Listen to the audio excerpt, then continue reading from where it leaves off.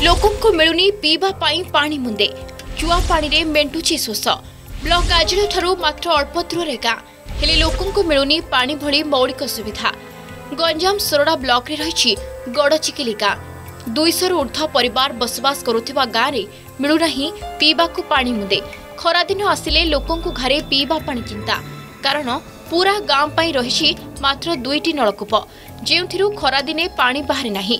ଲୋକଙ୍କ ପିଇବା ପାଣି ସଂଗ୍ରହର ଏକମାତ୍ର ପନ୍ଥା ସାଜେ ନଦୀର ଦୂଷିତ ଜଳ। ଗାଁଠାରୁ ଏକ କିଲୋମିଟର ଦୂରରେ ଥିବା ନଦୀରେ ଚୁଆଁ ଖୋଳି ତାହାର ପାଣିକୁ ବ୍ୟବହାର କରିଥାନ୍ତି। ପାଣି ସମସ୍ୟାରେ ଆଜ୍ଞା ବହୁତ ଡେଞ୍ଜର ଟ୍ୟୁବୱେଲ୍ ତିନିଟା ଖଣ୍ଡେ ଅଛି ତିନିଟାରୁ ଦୁଇଟା ସଦାବେଳେ ପ୍ରାୟ ରିଜେକ୍ଟ ଥାଉଛି। କିଲୋମିଟର ଦୂରରେ ନଦୀ ଅଛି। ନଦୀରୁ ପାଣି ନେବାଟା ବଡ଼ ସମସ୍ୟା। ପିଇବା ପାଇଁ ଖରାଦିନେ ତକଲିଫ ହେଉଛୁ ଅସମ୍ଭବ କଥା। ତେଣୁକରି କୌଣସି ଅଫିସରକୁ ଜଣେଇମୁ କି ଆମର ବୋର୍ଦା ପଞ୍ଚାୟତରେ ଜଣେଇମୁ ସେମାନେ ମଧ୍ୟ ଆମର ହଠାତ୍ ପଦକ୍ଷେପ ନେଉନାହାନ୍ତି। ଦୁଇଶହ ଘର ଅଛନ୍ତି ସେ ଦୁଇଟା ପାଇପ୍ ପୁରା ଯାଉଛନ୍ତି ମାଡ଼ଗୋଳ ହେଉଛନ୍ତି। ନଦୀ ଗୋଟେ ଅଛି ଦୁଇ କିଲୋମିଟରରେ ଉଠାଣି ଗଡ଼ାଣି ତ କହିବାକୁ ନାହିଁ।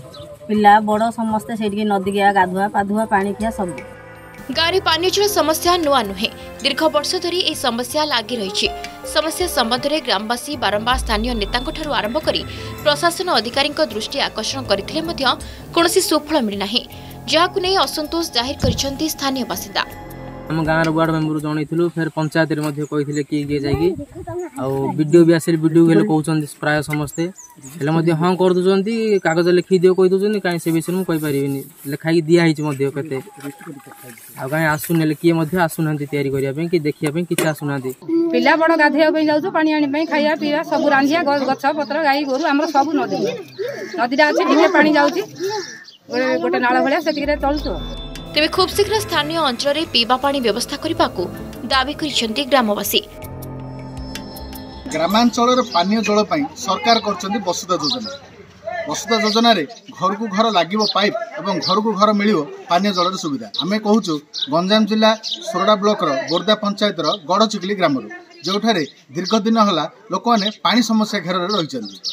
କେବେ ପଡ଼ିବ ସରକାରଙ୍କ ଏଥିପ୍ରତି ନଜର କେବେ ମିଳିବ ଲୋକଙ୍କୁ ପାନୀୟ ଜଳର ସୁବିଧା ତାହା ଦେଖିବାକୁ ବାକି ରହିଲା। ଗଞ୍ଜାମ ଜିଲ୍ଲା ସୋରଡ଼ାରୁ ସତ୍ୟକାନ୍ତ ପାତ୍ର ଅର୍ଗସ୍ ନ୍ୟୁଜ୍।